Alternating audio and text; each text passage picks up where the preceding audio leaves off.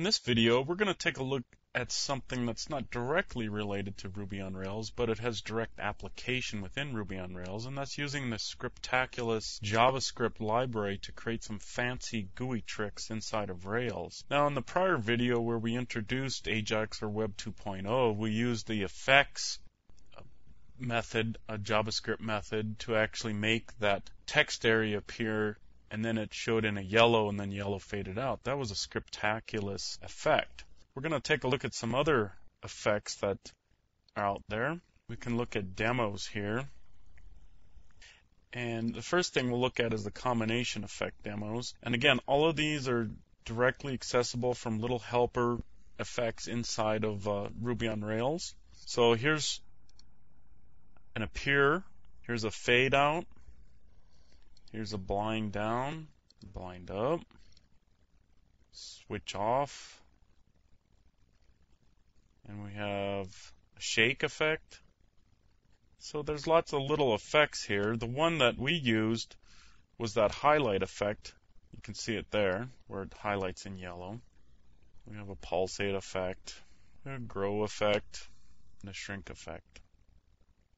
So those are different effects, the graphic effects that you can apply to your Ruby on Rails application, to your divs or whatever elements inside your DOM to really enhance your Web 2.0 application. This isn't strictly Web 2.0, that really is more to do with the communication between the server, but this certainly makes it fancy looking. Uh, there's other things that we have. Uh, there's the auto completing type of text fields.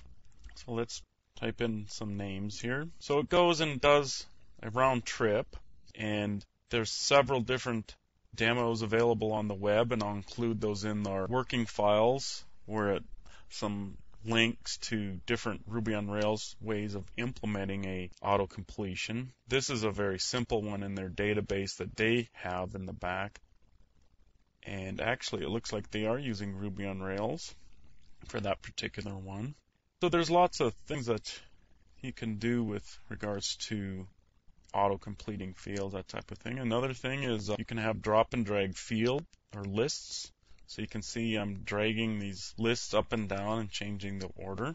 Again, that's very easily implemented. And in Ruby on Rails, again, I will have links for you.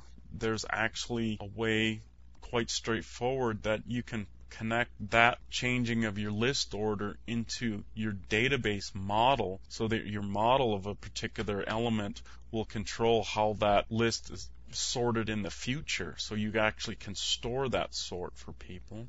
The last one I wanted to look at here was where you can drag from one list to another or back again and then change within that list. And this is all done with JavaScript. What Ruby on Rails, what you buy with this, is storing this in some kind of environment in your database specifically, or I guess you could do it in, in your session if you'd want, but it's probably best to store it in the database connected to whatever this list of, like in our movie example, we could have a list of movies that we change the order over, that type of thing. So that's a little bit more fancy GUI tricks that Ajax or Web 2.0 makes possible for us.